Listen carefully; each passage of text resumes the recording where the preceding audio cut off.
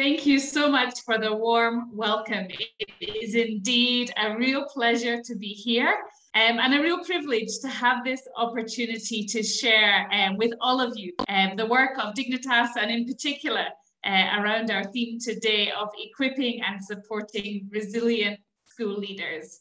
Um, as you've heard, uh, my name is Deborah. I have the privilege of leading the team at Dignitas um, and uh, the additional privilege of having worked in the education and child protection space within East Africa for the last uh, 15 years. Um, I'm joining you today from Nairobi, Kenya, um, which is very much home as well as um, the birthplace of the work um, done by Dignitas. Um, and excited to be able to share with you today. Our theme for today is equipping and supporting resilient school leaders. And um, I thought it would be useful to begin today by putting into context um, the work that we do at Dignitas and, and how that led us to a particular course of action in response to the pandemic last year. Um, Dignitas is an award-winning education development organization. We have been honored to have our work recognized um, with a WISE Award in 2020 and over the last three years by HundrED um, on their global collection of uh, education innovations from across the world and most recently by World Bank, particularly in relation uh, to our work uh, around digital training and coaching tools for educators. At the core of who we are at Dignitas is an innovative training and coaching approach that seeks to empower schools and educators, particularly those in marginalized communities, to transform student opportunities. Our vision is a world in which all schools are vibrant places for children to thrive and succeed. A little about our context, as I say, you heard, uh, heard me say that we are uh, joining you from Nairobi, Kenya. And sadly, what we see in our context here is that children are schooling but not learning. Um, these statistics that you see on the screen are actually from before COVID. And um, there are some data sets coming out now that speak to the current situation. But we were in crisis long before the pandemic. In sub-Saharan Africa, World Bank states that 87% of children are in learning poverty and cannot read a simple text by age 10. Our regional data gathered by the Uwezo assessment states that only 30% of class three learners can do class two work. So children are not progressing having gained the knowledge and competency that they should year on year. And by the time children get to the end of primary school, which is class seven to eight, um, only 60% of children can actually apply foundational numeracy context. So we have huge gaps in foundational literacy and numeracy, um, and the evidence is there and, and it speaks quite loudly to that. Of course, COVID has exacerbated many of these gaps, many of these inequalities, and we'll dig into that a little further in, in the next few minutes. So many children are sadly not leaving school with the competencies they need to be able to thrive and succeed in what is an ever changing um, and increasingly complex world. The World Bank uh, declared this learning crisis, the global learning crisis, in their development report of 2018. And in that report, they not only declared the global crisis to address that crisis, and having looked at evidence from across the globe, they pointed to several things that would actually make a difference for learners. And these three things on the screen uh, particularly resonated with the work of Dignitas. First, effective school leadership focused on learning, improved teacher support and uh, development, and improve pedagogy. And these three things are really core to the Dignitas model of how we support school leadership teams to improve learning within their schools. Dignitas is uh, very proudly evidence-based and data-driven. And over the years, we've studied quite closely the impact of the support that we've been able to give to school leadership teams. And in particular, we have 18, and we were asking the question, what drives the biggest impact for learners, for children who are most marginalized within the schools that we partner with? What is it that we can do in partnership with their school leadership teams that will have the most impact on their learning outcomes? And all of that data has helped us to see that there are three pillars to that support that we give through school partnerships that are actually key to driving impact. And these are first instructional leadership, so a real keen uh, focus on the competencies, the mindsets, the strategies that will improve the quality of teaching and learning. Secondly, school and classroom culture. And under this banner, we ask ourselves three key questions with the schools that we partner. Are learners safe? Are they happy and are they valued? And then third, learner engagement. How do we move away from, at least in our region, the traditional methods of teaching, um, which are focused on rote learning and memorization, um, and not particularly learner focused? How do we shift from a teacher centered approach to a learner centered approach? And we see these three things as being really key to improving learner competencies that are aligned to Kenya's new curriculum, which is the CBC or competency based curriculum and focuses on competencies like uh, communication, collaboration, critical thinking, self efficacy. So we see these three pillars as revealed by the evidence to be those that will really drive impact for children in our schools. And so we partner with school leadership teams because we believe these teams are the key drivers and agents of change within their schools. Now, schools look slightly different across different settings, but typically when we talk about school leadership teams, we're talking about head teachers, about deputies, um, about teacher leaders, which could be those informal positions of authority or those who are simply natural leaders amongst their peers. And often our school leadership teams engage government officers as well. Um, locally, we have curriculum support officers and quality and assurance, quality assurance officers who often engage as part of these school leadership teams. And we partner with these school leadership teams for a year. And in the course of that one year partnership, we work together through a series of learning cycles. And those learning cycles follow the pattern that you see on your screen here. I'm sure the I do, we do, you do framing is familiar to many of you. Um, and, and, indeed, it is the framing for these learning cycles, but we break that down a little further into the five steps you see along the bottom. The first is content delivery. And in some ways, this is what the smallest part of what we do. It, it takes the least time. So communicating a new concept, perhaps sharing a reading, a video, an animation that helps to highlight that.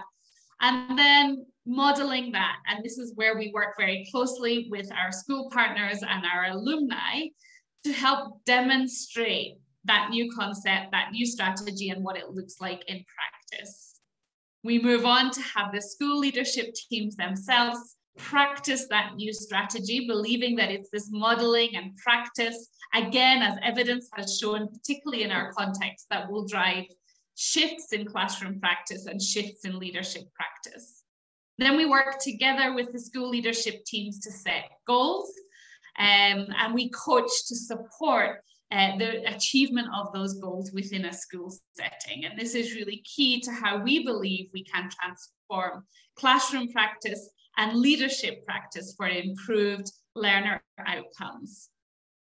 All of this takes shape around these six core competencies that over the years we've seen to be the most important in developing model school leaders having school leaders that are focused on learners, learner-centered leadership, um, emotionally intelligent leadership, um, leading with a growth mindset. You can see the six here, and these are the core of all of the training and coaching support that we give to our school leaders. Coaching is really key to our success and key to ensuring that new concepts go beyond theory and become practice. Coaching is individualized, it's delivered at a classroom and at a school level, working very closely hand in hand with the school leadership teams. So as you saw in the learning cycle earlier, we help them to set goals. We then observe their practice of these new strategies. So that could be a, a, classroom observation, it could be an observation of a school walkthrough or some other leadership practice. The observation allows us to give effective feedback to the school leaders and the teacher leaders to prompt their reflection and help them set a new set of goals so that the cycle begins again. So coaching is really core to improving leadership and classroom practice. Our coaching is informed by competency rubrics of the six competencies I showed uh, a few slides back. We have a rubric that shows what each of those looks like from beginner to mastery level. And essentially, we're trying to, through our school partnerships, move educators from beginner to mastery. And even if they don't achieve mastery in the course of partnership, setting them on that course towards mastery. These competency rubrics are designed in partnership with government and other stakeholders and are first aligned with national curriculum frameworks. So we ensure we're not asking educators to do anything that contradicts what essentially their employer, the government, is asking them to do. We make sure that it's enabling curriculum delivery. Secondly, we make sure that it's there to motivate educators. Coaching has so often, eh, in our context, been seen as a form of uh, assessing or, at worst case, even policing. Um, and it hasn't always come in a supportive uh, context. And so we ensure that the competency rubrics and coaching is designed and delivered in a way that nudges positive shifts in practice and motivates educators to excel. And finally, it provides data that guides school leaders on additional development and support needs and helps them to create personalized pathways of support for teachers within their schools. And we see uh, as Dignitas impact both on learners and educators. At a learner level, we see impact uh, on learning outcomes. In this case of, of, what I'm displaying here, we were able to use a pre and post lesson assessment to measure knowledge gain in the course of a lesson. We compared two groups of learners, ones who were in Dignitas supported schools and classrooms and others who were not. And what we saw was the learners in Dignitas supported classrooms had a 44% uh, knowledge gain in the course of a lesson, which was almost three times what the learners in non-Dignitas classrooms experienced. We also track using our competency rubrics and the coaching observations, we track progress and gains at, at educator level.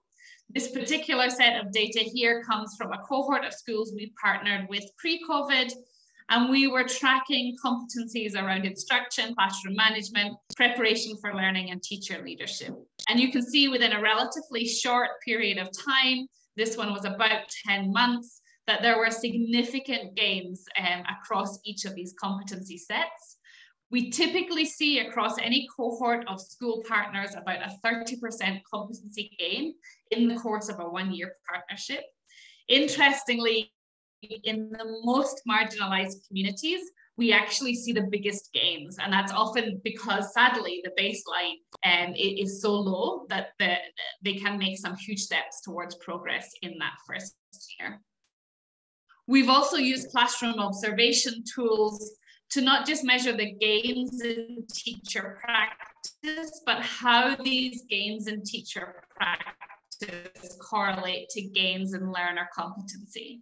So where, for example, we see teachers using an increasing number of uh, group activities, uh, where we see them improving their learner engagement, where we see them prioritizing classroom culture, we see learners uh, increase as a group, as a class, um, the indicators of increased self-efficacy, increased collaboration, um, improved communication. Um, so we see this correlation between shifts in teacher practice and gains at the learner level. And this breaks down further and ties back to our competency rubric that breaks down these specific competencies that drive these three pillars that we spoke to earlier.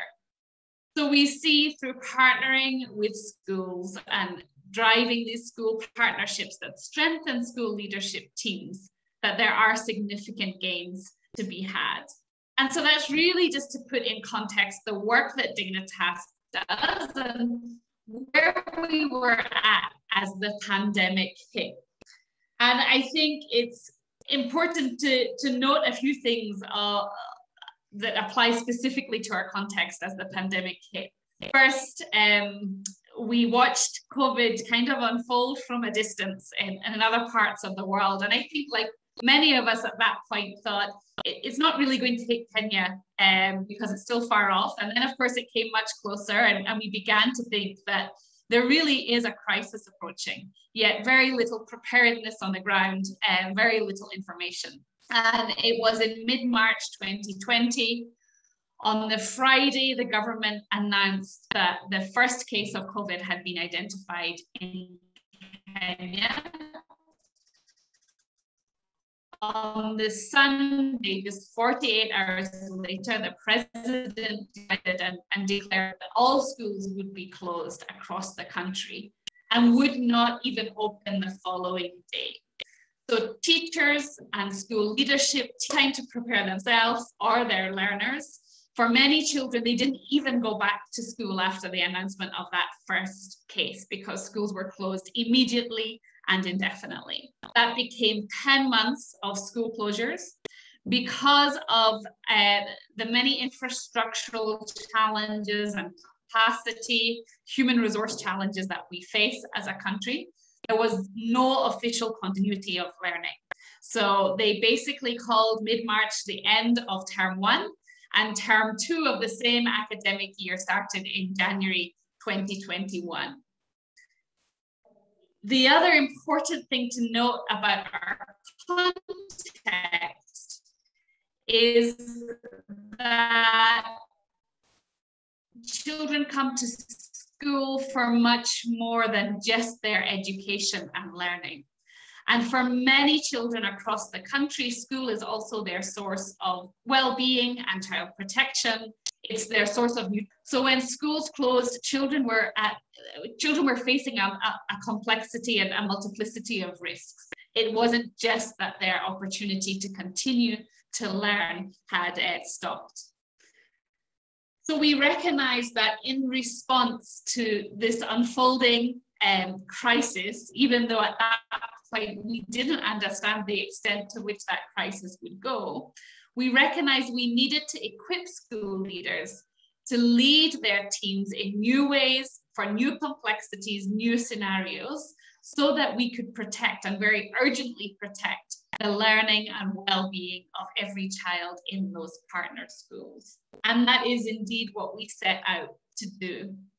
We had three key aims we wanted to engage our school leadership teams first to understand the barriers that school leaders face in supporting learning and well-being during school closures.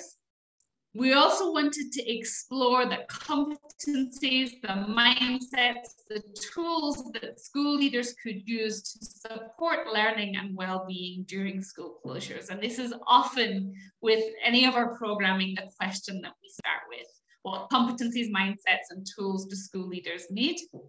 And finally, we wanted to be able to respond to that by developing a set of training and coaching resources that would strengthen those exact competencies and mindsets in school leaders. And so we embarked on a, study over a period of about six months initially, where we would gather the data that would help us to answer those three questions um, but that would also inform our response so that we could be sure our response was evidence driven um, and impactful for the learners we wanted to reach. We had to make this response very quickly and very urgently given the nature of school closures and, and what the children in our partner schools were facing. So we worked primarily with about 60 school leaders um, and their teams within an urban setting. This was in the informal settlements of Nairobi, which are some of the most marginalized communities in our city. And then the second phase rolled out across 500 school leaders, mostly in rural locations, working in government schools. And so we established several things as part of our baseline study. First was that 70% of school leaders believed that they had a responsibility to support learner well-being during school closures, but 68%, almost the same number, recognized this as their biggest challenge. They didn't know how to support children beyond the walls of their school and their regular learning environment. Within the first month of school closures, only about half of children had had any form of correspondence from their schools. And not all of this was focused on learning. Much of it was forwarding of Ministry of Health uh, informational messages relating to COVID-19.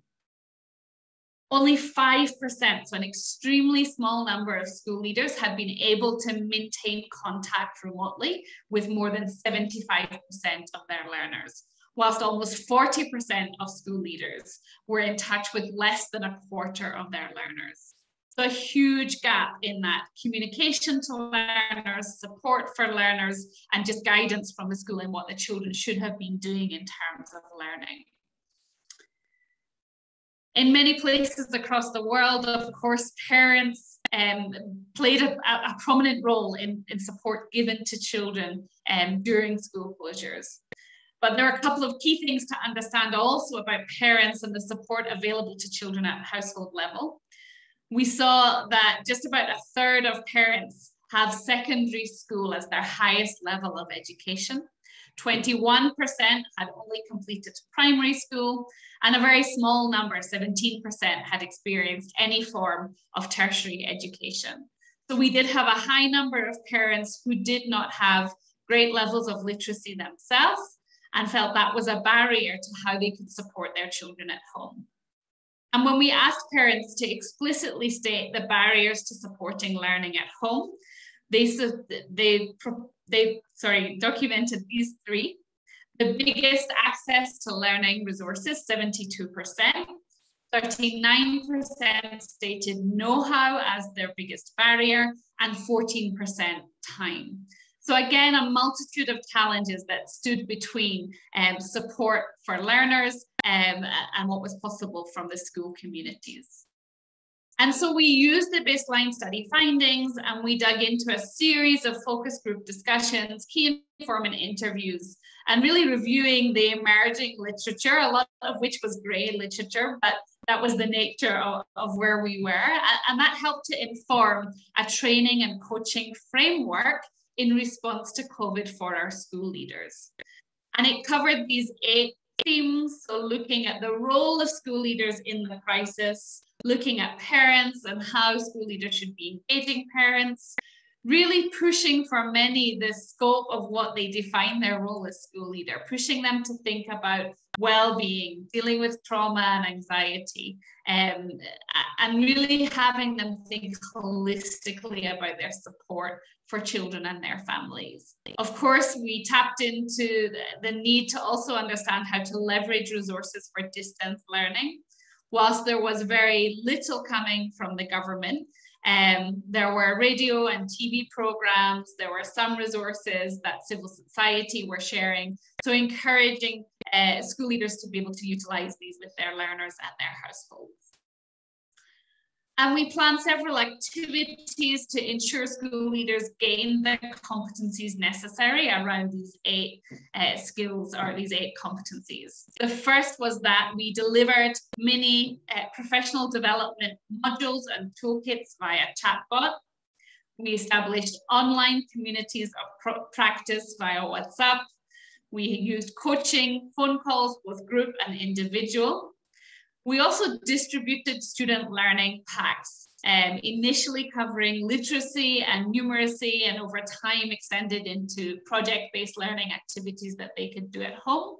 And where it was COVID safe, We equipped the school leaders for household visits as well, particularly to follow up on children who had no access to internet, TV, radio, um, and could only utilize the paper-based resources we were distributing to learn.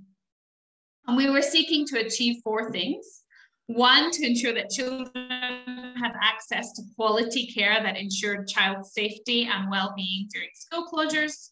Two, that they would stay engaged in learning whilst at home. Third, that they would be uh, parents would be empowered to support learning at home. And fourth, that school leaders would be equipped to support households and ensure the well-being of children. Throughout program delivery, we were very intentional about being data informed, being responsive to the needs of the school communities and agile in our offering. It was an ever changing situation with a lot of fluidity around what to expect, both in how the pandemic unfolded and when schools may reopen, what that might look like. And so we had to be data informed to be able to consistently respond to the needs we saw amongst our learners. As a result, we developed a full digital training and coaching toolkit that includes virtual engagement rubrics to help us think differently about how we evaluate engagement and attendance of school leaders in training and coaching with virtual tools, vis-a-vis in-person workshops. We developed guiding principles for blended professional development. Our team worked hard on new strategies that would help to build trust, build community, build digital literacy, all in low-tech communities.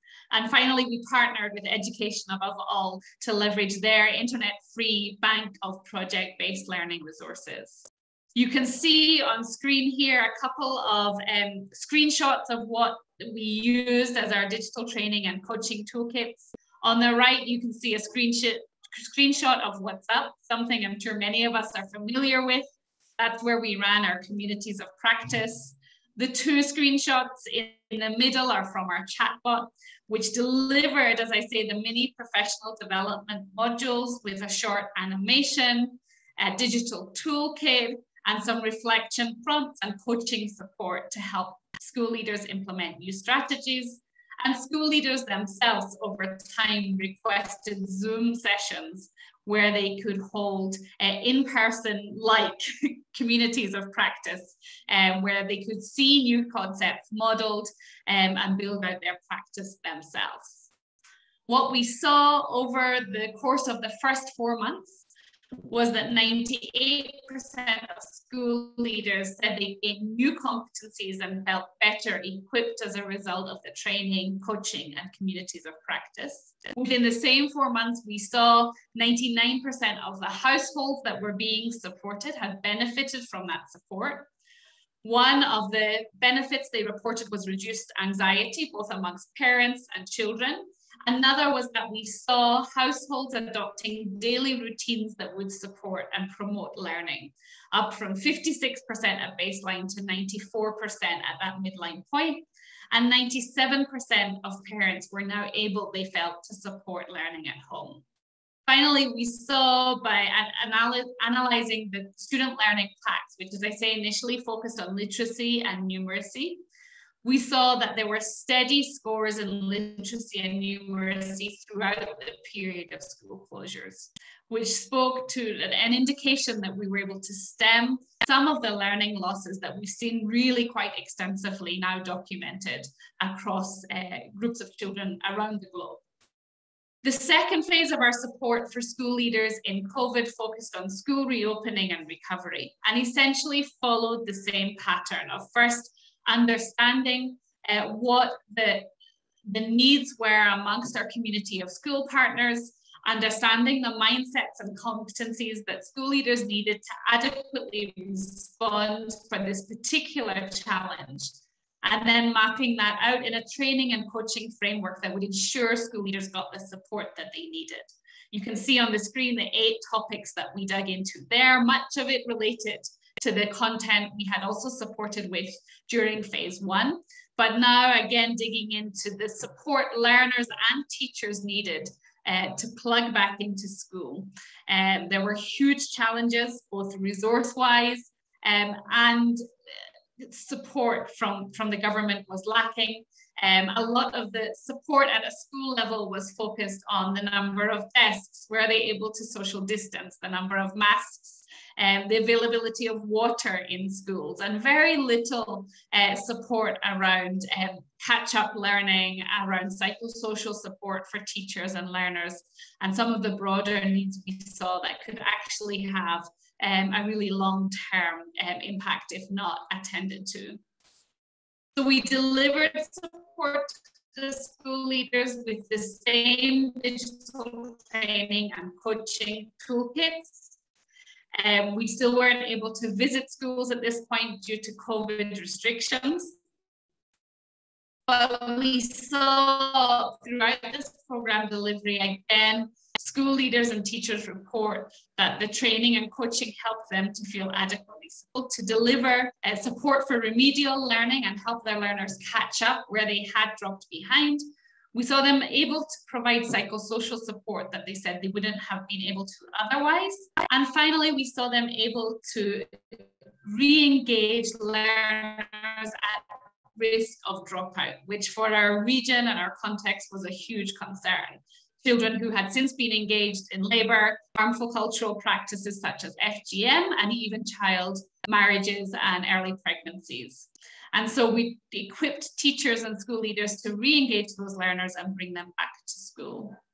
So we saw this urgency around the pandemic and, and the conversations that that opened up enable us to build a training and coaching curriculum that focused on taking school leadership out of the classroom and into the community. We had to embrace parents as key stakeholders to a greater extent than we've ever done before. We had to equip and leverage educator agility to be able to reach every learner because every household situation was a little bit different from the next. And we had to equip them to be community-based leaders of learning. And from that, we learned several lessons. And this is where I'll conclude today.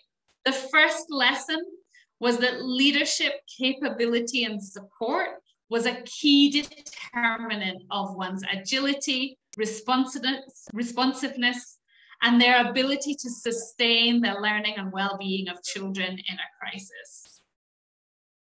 We also saw that solutions that ignore inequalities only leave more children behind and are detrimental to overall progress. It's really important to think about each of the children in their household situations and the barriers that they may face to engage in things that would keep them safe and learning. And so we had to consider those inequalities even more than we typically do. Thirdly, there's a growing need to give attention to socio-emotional learning in Kenya, even now we see this. We have a huge amount of school unrest currently, with multiple school fires said to be set by learners on a daily basis in the last week or so. There's a huge amount of pressure on learners. Our academic calendar has been adjusted to try and catch up from COVID. There are implications even now with schools having been open since January on the, the failure to support socio-emotional needs of both teachers and learners. And we must give this our attention. And finally, to ensure no child is left behind, we need to make sure no parent is left behind. And that means considering the parent with little to no literacy, considering the parent who doesn't have a radio, a TV, a smartphone, considering the parent who's already on the poverty line uh, before a crisis like COVID. And so we must consider how we strategically engage parents to support their children's learning at school or at home. These four lessons we believe are impactful and important beyond COVID, beyond the pandemic, and particularly important as we consider ongoing shocks to the education system and potential future shocks. Thank you so much to, for listening today and walking through this journey with us of our learning in response to COVID and all that unfolded um, as, as we face the pandemic um, here in Kenya. I believe there are lessons here that go beyond our context and beyond Kenya, and I'm really pleased to have this opportunity to share with you.